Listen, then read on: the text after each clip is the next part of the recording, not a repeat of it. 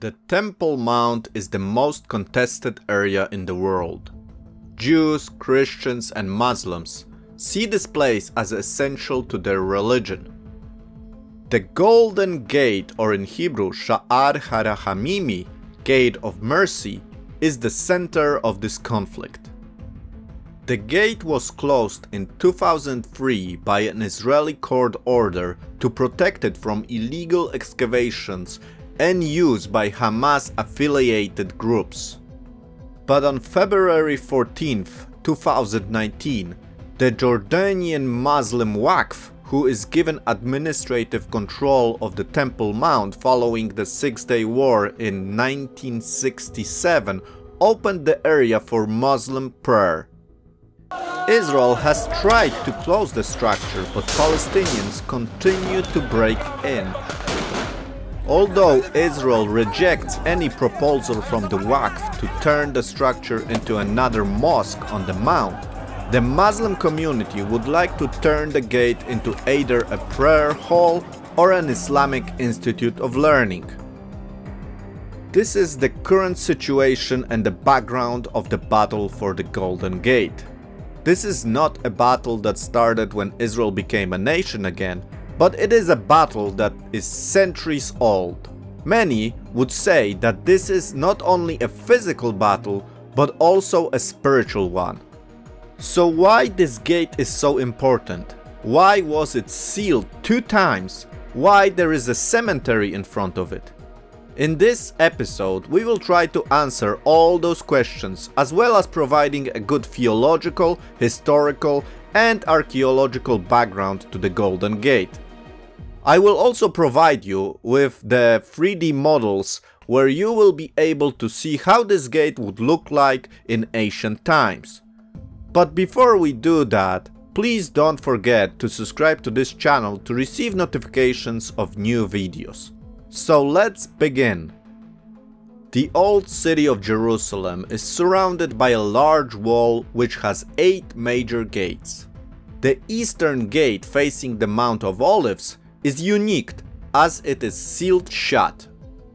It is believed to be the oldest gate of the old city. This gate, when it was created, gave the most direct access to what would be the area of the Jewish temple. As it is the closest location to where the temple once stood, Jews would pray near this gate to be as close as possible to the holiest site. The eastern gate was ultimately sealed shut in 1541 by the Ottoman Sultan Suleiman. However, prior to this time, the gate was closed in 810 also by the Muslims, then reopened in 1102 by the Crusaders and then walled up again by Saladin, the first Sultan of Egypt and Syria and the founder of the Ayyubid dynasty. The exterior face of the gate as it remains from the 16th century is a sealed double entrance that leads into two vaulted halls.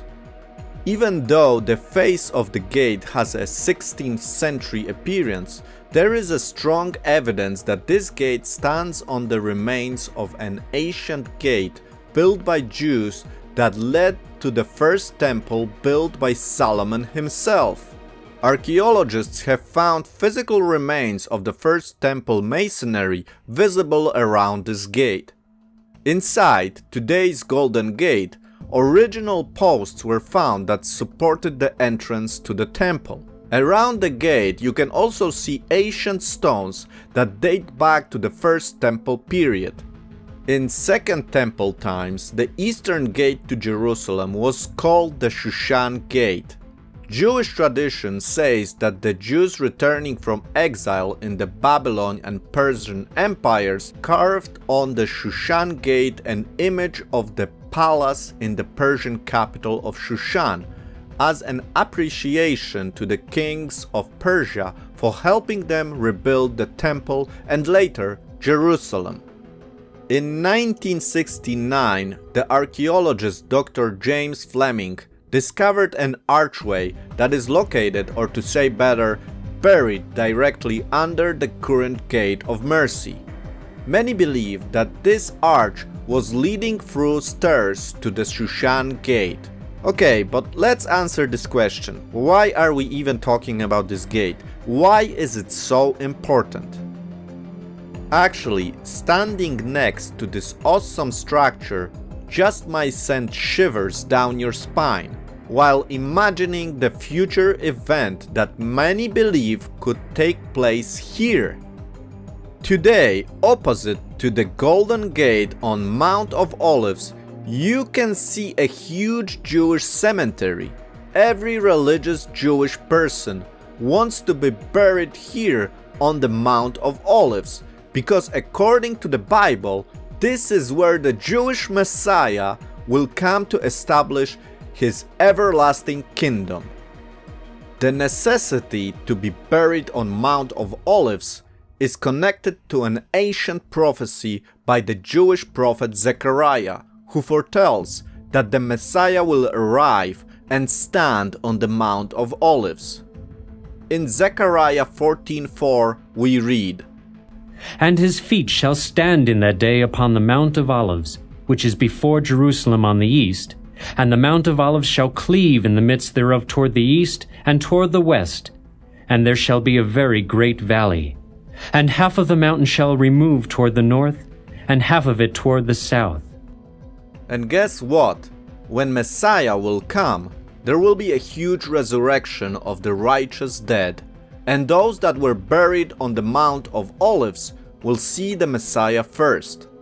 No wonder this place cost millions of dollars to be buried.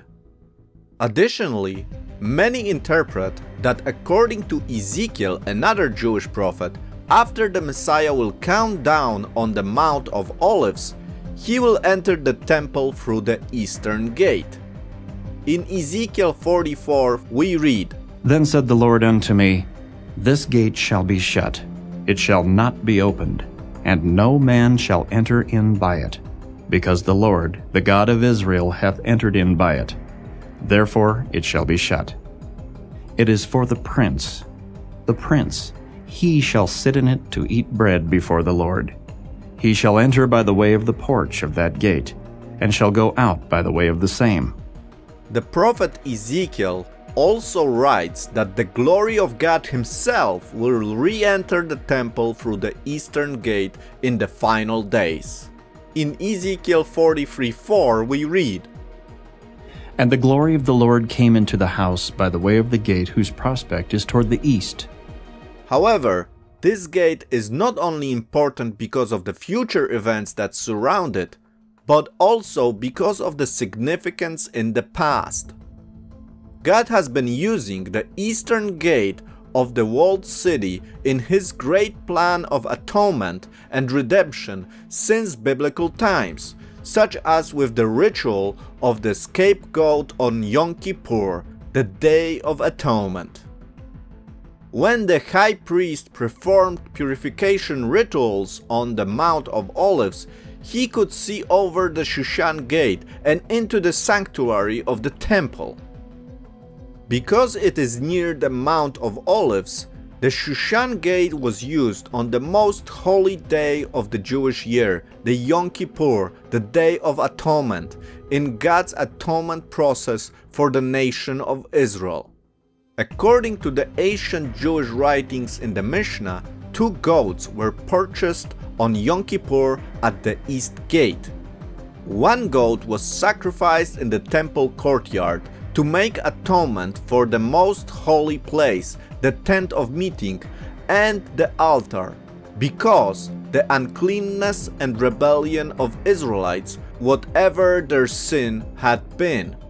Another goat, the scapegoat, was sent out through this eastern gate after the high priest laid both of his hands on its head and confessed over it all the wickedness and rebellion of the Israelites. Then the hands were put on the goat's head. With all the sins of the people of Israel on the goat, someone led it through the east gate, over a walkway that crossed the Kidron Valley, to the Mount of Olives, and then into the Judean wilderness, and tradition says over a cliff. Some believe there was a special archway that crossed the Kidron Valley so that no contact would be made with the dead bodies in the cemeteries, which would make the people ritually unclean. We must also remember that this gate is important for the Christians too. According to the New Testament teaching, while the first Old Covenant scapegoat left the East Gate to make atonement for the nation of Israel, Christians believe that Yeshua, Jesus, entered through this gate to usher in a new covenant atonement for the sins of all mankind. In Zechariah 9 9, we read, Rejoice greatly, O daughter of Zion. Shout, O daughter of Jerusalem. Behold, thy king cometh unto thee. He is just and having salvation, lowly and riding upon an ass, and upon a colt the foal of an ass. Yeshua descended the Mount of Olives in the east and entered Jerusalem through what many believe is the East Gate. He did this on the day known by Christians as Palm Sunday, the same day that Passover lambs were being selected and would be sacrificed four days later. According to the New Testament narrative, the people didn't understand it yet, but by waving palm branches and shouting Hosanna, which means save us now, they had selected Yeshua as their Messiah, their scapegoat and Lamb of God who would take away the sins of the world.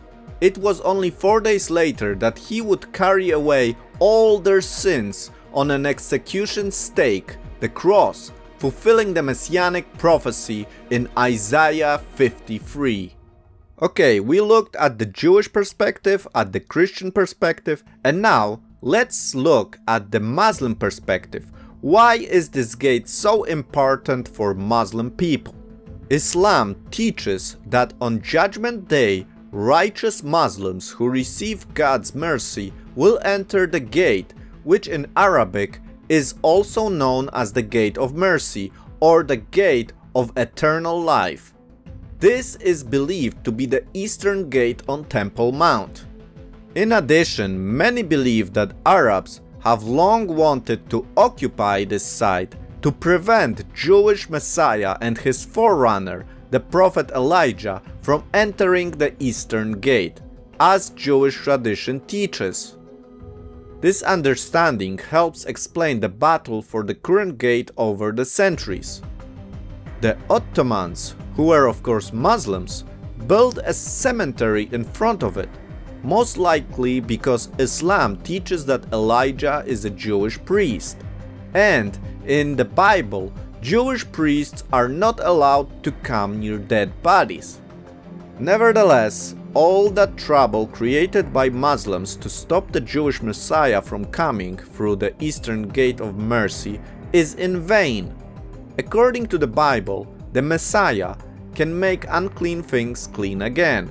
For him, this will not be a problem. Thank you for your attention. I hope you enjoyed this episode.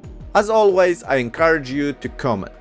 You can also subscribe to this channel to stay informed about next episodes on Jerusalem's history. If you like my work, you can support me by joining the Israel My channel. Have a great day and see you soon.